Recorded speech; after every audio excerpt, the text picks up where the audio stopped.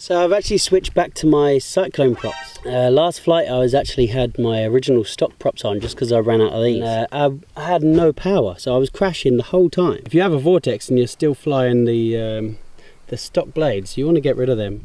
If anyone knows some blades that are better than these drop, uh, drop me a comment. So these make a massive difference to my flying. I'm still waiting to get that one battery fly where there's no dodgy bits. I don't think I've had a single one of those yet have like two minutes of footage that like isn't sketchy as this fly is still not going to be one of those.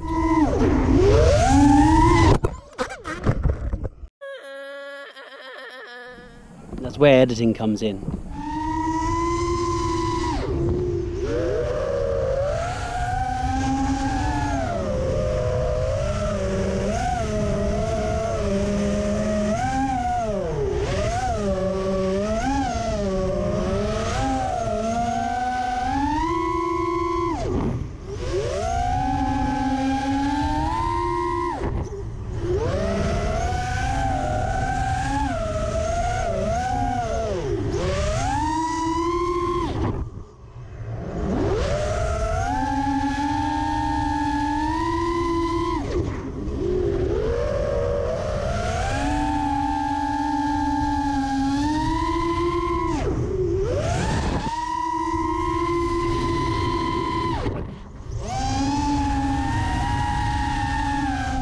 So I also bit the bullet and uh, changed my PIDs a little bit.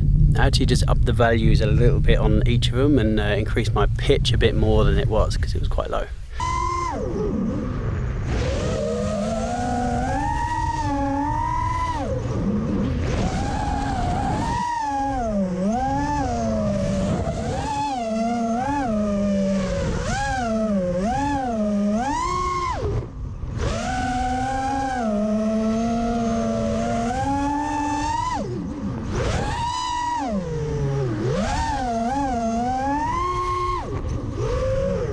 I'm still getting a few wobbles, but I think that's just my throttle control.